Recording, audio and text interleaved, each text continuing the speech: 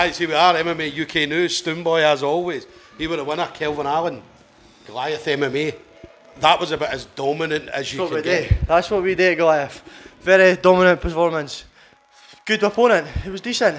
Just not on my level. Yeah, yeah, But my grappling showed in that fight. yeah. As it was very dominant. As I said, uh, what was it? Harris came in and said three submission attempts. Do you know what I mean? So fuming, man. I had, I was set out the whole camp, drilled to get submission, yeah. and I fucked it three times. but still got control, still got the finish. First round, never took a punch, never took a kick. yeah, yeah, Did you see everybody there? yeah, man. That whole side. You, you jumped on the cage, right, and the place went fucking. That whole, I thought I wasn't getting up. Oh, I was like, oh, this belly's not getting on top of that cage, like.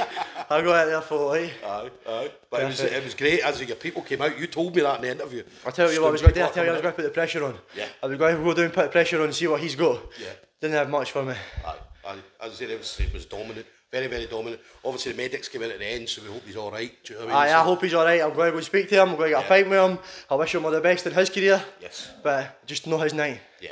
Just definitely. not his night. I've had that before too. I mean, my first fight, was the man night. I got Yeah. beat. You just you learn for that for. Oh, my man! there we go. hey, hey. We're getting light refreshments. all right. So, So- um, what's next for you, then, Kel? Well, this a pizza. Yeah.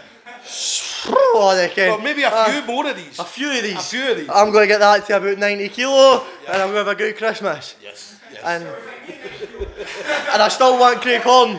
I want that Craig Horn fight. yes. Uh, what is it? But I've got a lot of people to shout out here. All my mates, every single one of them for coming out to watch me. My corner team, all the boys in the gym, they go, they go and notice. Kenny Wilson, Craig Horn, Conor MacArthur, Collie, Craig, Muir, James, Ben. The list goes fucking on. Kev, and uh, I thank my sponsors. Grin Scotland, look out for them. Massive. DJ Techno Community, they're coming up. Fully fitted wardrobes, my work. The head shed, who does my haircuts. Shout out Tracy. I want to thank my girlfriend, Kelsey. Thank my mum, my dad, my nana, my dad, my uncle, my auntie.